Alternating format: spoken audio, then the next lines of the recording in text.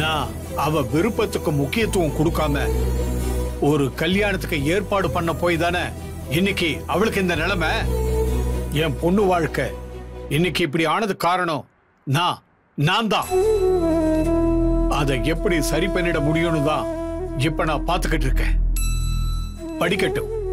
அவ அதுக்கு தான் இங்க வந்தா.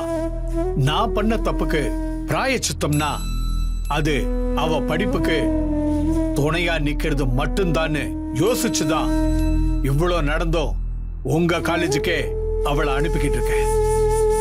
அவ அங்க வந்து படிக்கிறதுனால தான் திரும்ப உங்களுக்கு இப்படி தோணுதுன்னா நாங்க வேணா எங்க ஊருக்கே போயிடுறோம் என்ன ஒரு வருஷம் படிப்பு கெட்டு போகும் அவ்வளவுதானே?